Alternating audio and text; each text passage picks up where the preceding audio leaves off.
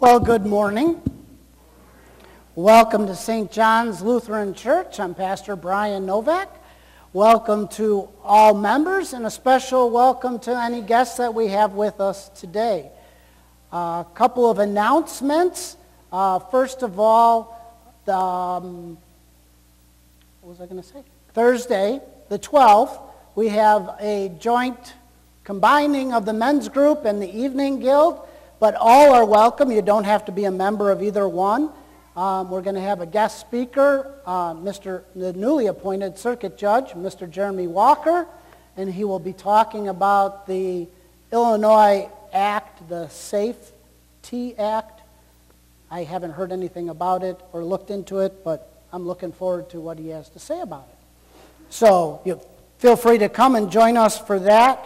Uh, Pastor Nebel is not here today. Um, he is the weekend somewhat off. He's doing the gets the pleasure and the honor of baptizing his grandson today over in St. Louis. So God's blessings to him.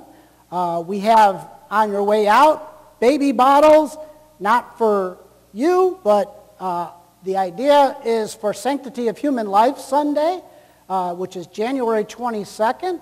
The idea is you take the bottle home, and through the month of January, you toss your loose change in it, and then you bring the bottle back the first week and the first weekend in February, which is the fourth and fifth, and we'll collect the bottles, and then we'll make take all that change and make a don- the donation to the Life Network for their to support them. Also, uh, note that Thursday is the men's meeting with Jeremy, and then Friday we have family fun night. So from 7 to 9. So feel free to come and join us with games and so forth and have fun with that. So with all that, God's blessings on your worship. We can start with our opening hymn, hymn 409, Hail our source of every blessing, hymn 409.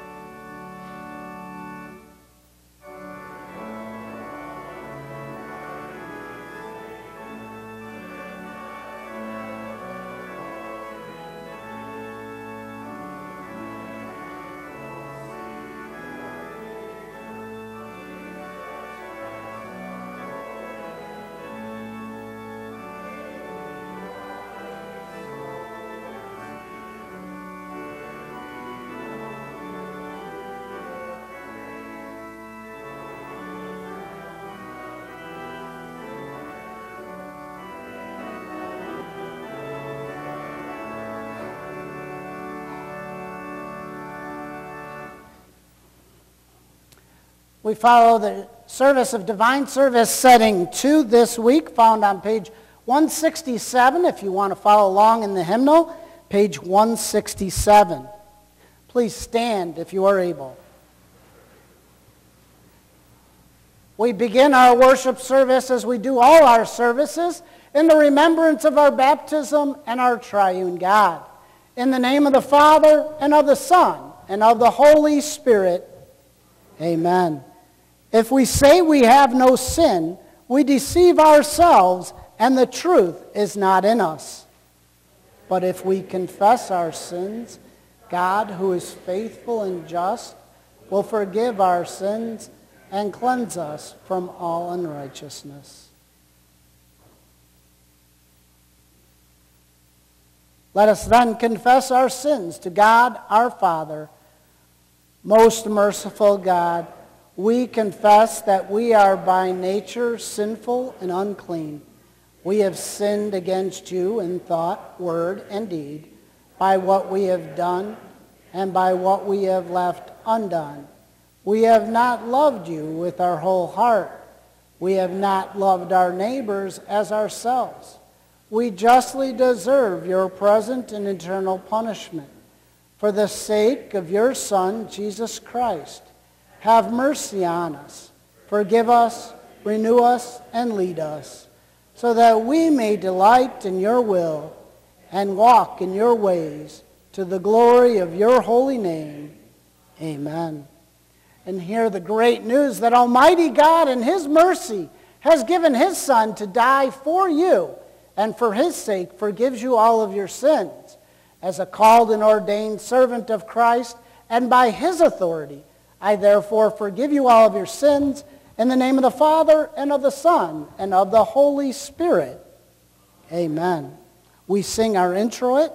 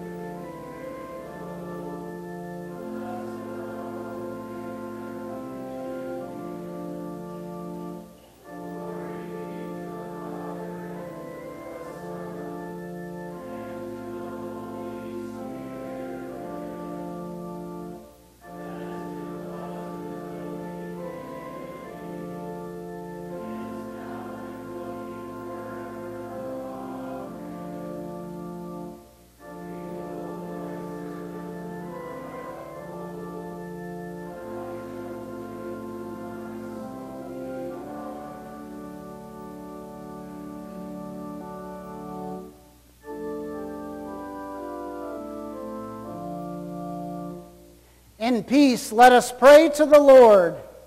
Lord, have mercy. For the peace from above, for our salvation, let us pray to the Lord.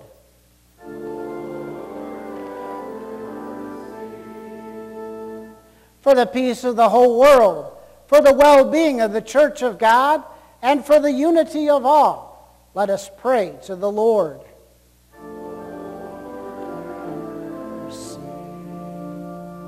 For this holy house and for all who worship, offer here their worship and praise. Let us pray to the Lord.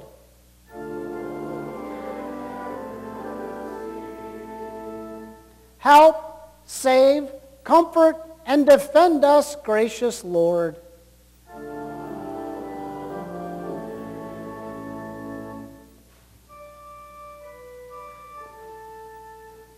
This is the feast of victory for our God. Alleluia.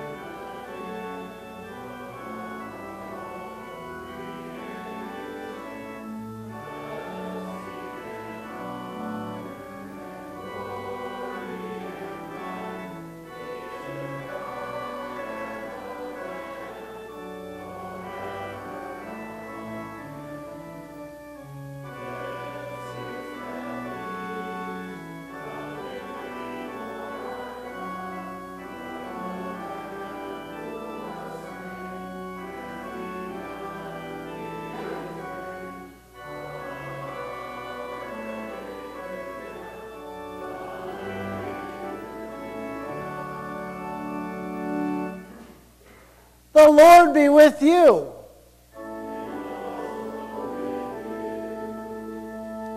Let us pray. We pray in unison. Father in heaven, at the baptism of Jesus in the Jordan River, you proclaimed him your beloved Son and anointed him with the Holy Spirit. Make all who are baptized in his name faithful in their calling as your children and inheritors with him of everlasting life. Through the same Jesus Christ, our Lord, who lives and reigns with you in the Holy Spirit, one God, now and forever. Amen. You may be seated for our readings.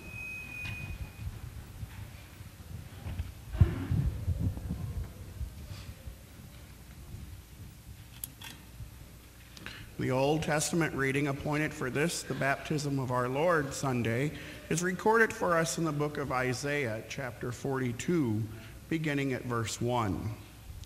Behold my servant, whom I uphold, my chosen, in whom my soul delights. I have put my spirit upon him. He will bring forth justice to the nations. He will not cry aloud or lift up his voice or make it heard in the street. A bruised reed he will not break, and a faintly burning wick he will not quench. He will faithfully bring forth justice.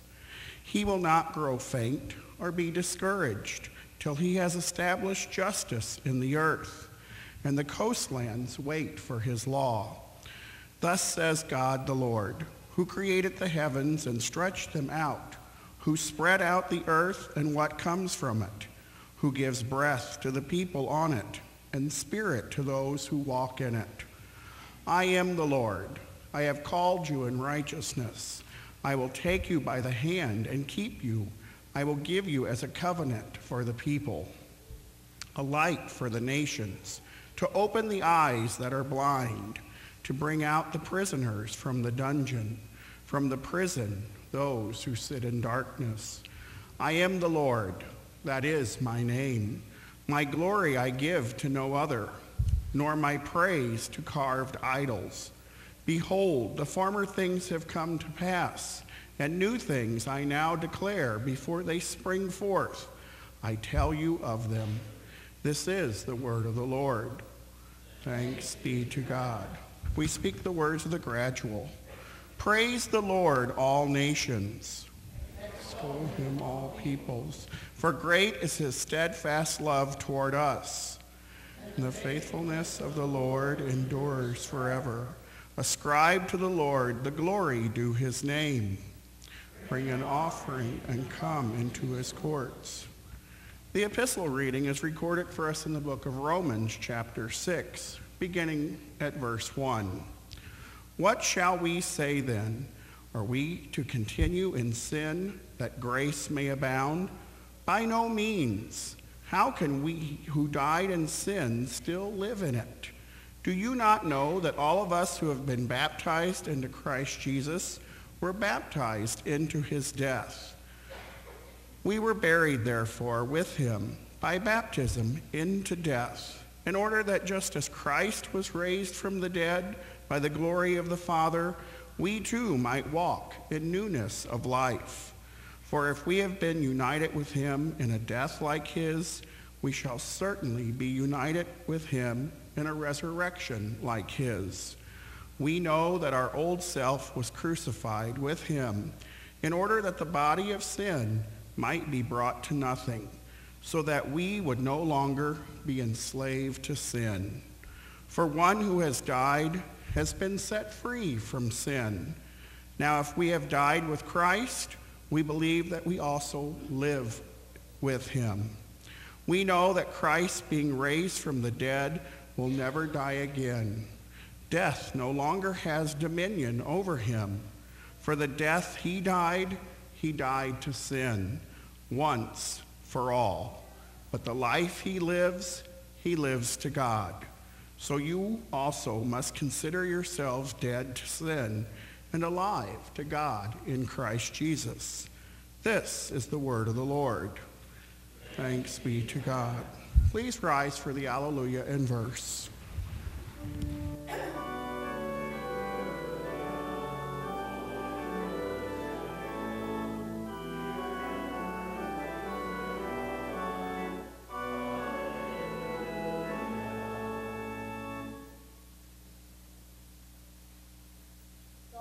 Gospel according to St. Matthew, the third chapter.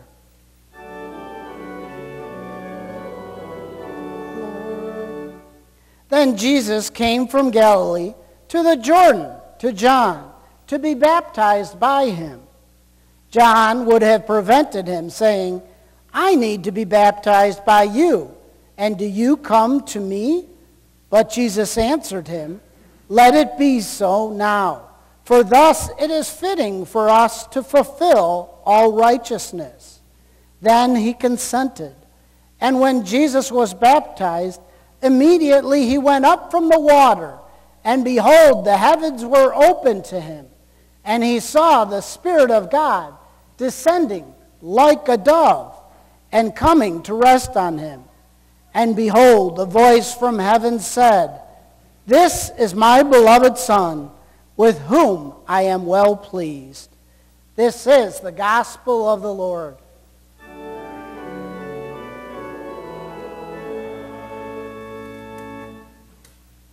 We recite our common confession in the Nicene Creed, found on page 174 or in the back of your hymnal. I believe in one God, the Father Almighty, maker of heaven and earth, and of all things visible and invisible, and in one Lord, Jesus Christ, the only Son, Son of God, begotten of his Father before all worlds, God of God, light of light, very God of very God, begotten, not made, being of one substance with the Father, by whom all things were made, who for us men and for our salvation came down from heaven and was incarnate by the Holy Spirit of the Virgin Mary, and was made man, and was crucified also for us under Pontius Pilate. He suffered and was buried. And the third day he rose again, according to the Scriptures, and ascended into heaven, and sits at the right hand of the Father.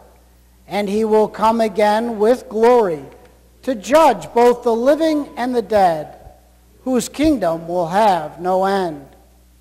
And I believe in the Holy Spirit, the Lord and giver of life, who proceeds from the Father and the Son, who with the Father and the Son together is worshiped and glorified, who spoke by the prophets. And I believe in one holy Christian and apostolic church. I acknowledge one baptism for the remission of sins, and I look for the resurrection of the dead and the life of the world to come.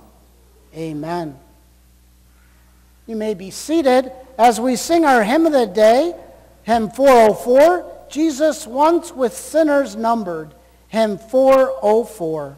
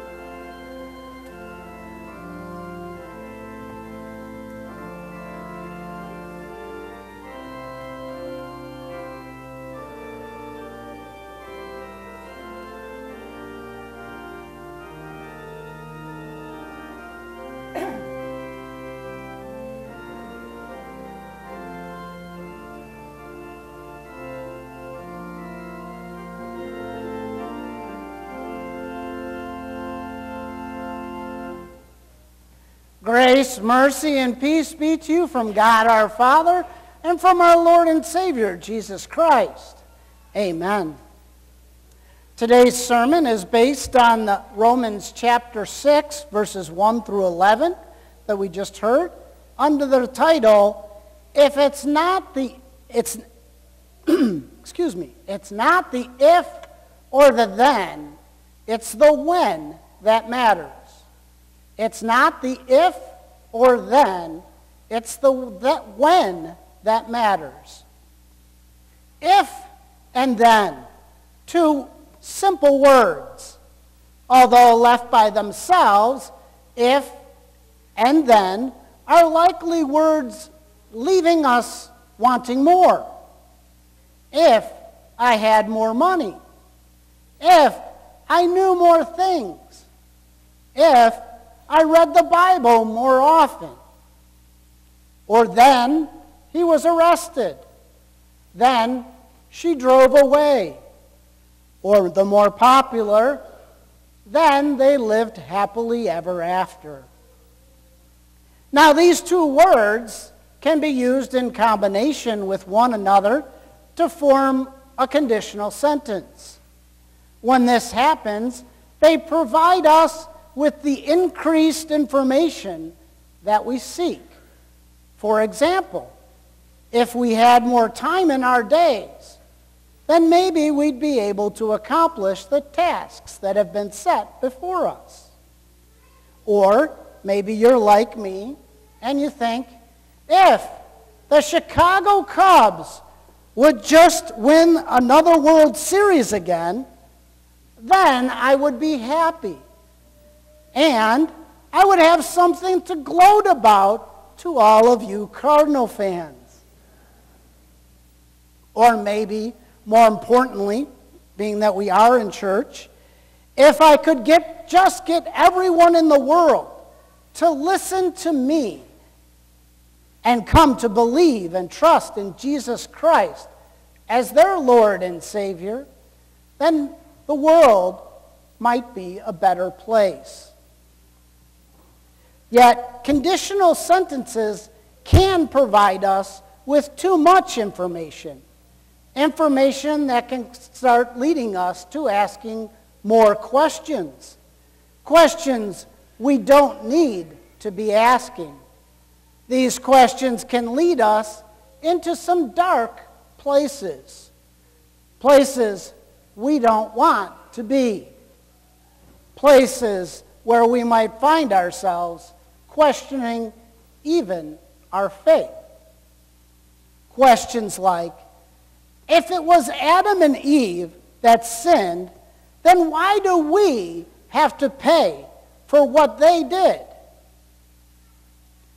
If God would have just answered my prayers, then I wouldn't be in the situation I am right now.